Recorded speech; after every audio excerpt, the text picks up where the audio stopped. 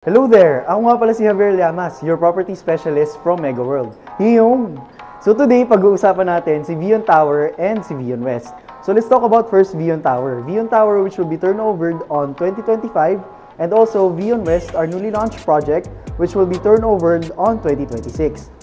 So ang maganda dito is pre-selling condo pa lang tayo and ang maganda sa pre-selling is meron tayong mga promo terms which is the no spot down payment at 0% interest with light monthly amortization. So firstly, let's talk about Vion. Vion strategically located along EDSA corner Chino Roses in Magallanes Village, Makati City. And ang maganda dito is around siya sa three major CBDs. And to those who don't know what CBD means, it's known as the Central Business District. And kung saan meron dito mga embassies, mga international offices, consulates, and a lot of famous establishments. And the three major CBDs near Vion is BGC, Makati, and Pasay. At kung isa kang turista, OFW, or mahilig ka lang pumunta sa mga galaan na to, then this is the investment for you. Dahil si Naiya is 10 to 15 minutes away from Vion. At kahit wala kang kotse, walang problema. Dahil dito, this is a transport-friendly condo.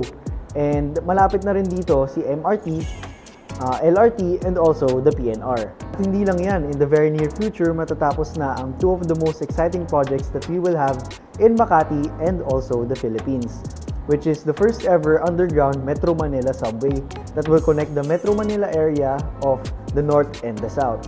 And we also have the Makati subway.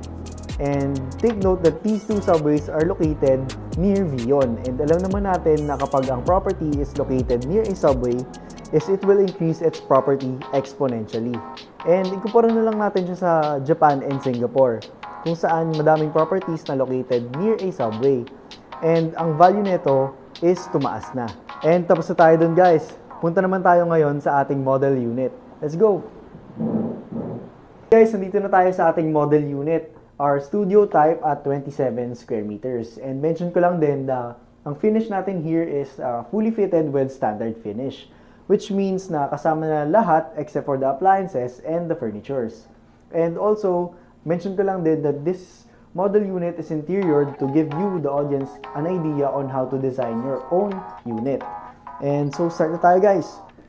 Una, pagpasok natin is the door. Siyempre, the pinto. So, pagpasok natin, una natin makikita is the kitchen. Ito ang view natin. So, meron tayo overhead cabinets na soft closing and under counter cabinets na soft closing also. And maganda rin dito is included na is the home, the backsplash tiles and the granite countertop. And meron na rin included dito is the sink and the faucet. So lahat ng nakikita nyo, makukuha nyo. Ang hindi lang kasama is of course, like I said, yung mga appliances natin like the range hood, our cooktop, and our refrigerator. Na kung saan, pero maganda dito is may provision na tayo for these appliances. So tara, punta tayo sa toilet and bathroom. So ngayon, pasok tayo ngayon sa ating toilet and bath. And una natin mapapansin dito sa toilet and bath natin is the size of the toilet and bath. Kasi I'm 5'6 and tingnan nyo, grabe yung wingspan. Halos isang buong wingspan ko na yung banyo. And so, dito, lahat ng nakikita nyo is makukuha nyo. So, dito, homogeneous tiles, floor to ceiling na siya. May shower head na rin tayo. And also, our partial glass enclosure. Uh, our toilet and our sink and faucet. And our granite countertop na din dito sa banyo. And also, our mirror. And my favorite feature here is our washer and dryer. Na compared to other condos, ang madalas ang washer and dryers nila is nasa kitchen. Pero dito, with Vion Tower and Vion West is located na siya at the toilet and bathroom. Move on naman tayo sa ating sleeping and dining area. So ayun guys, nandito na tayo sa ating sleeping, dining, and our even living area. So ayan siya. Um, ang hindi, like I said a while ago, is ang hindi lang included dito is our furnitures. So ibig sabihin, this table, this chair, itong TV is not included in this unit. So, ang included dito actually, ang maganda is our modular closet. So, ayan siya. Soft closing na rin siya. Included na siya. And mention ko lang rin na this aircon is, the split type is for showroom purposes only.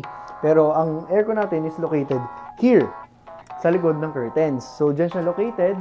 And if tingin naman tayo sa baba, may kita natin is the ceramic planks. So, sa ceramic planks is wood feeling na siya and also madaling linisin.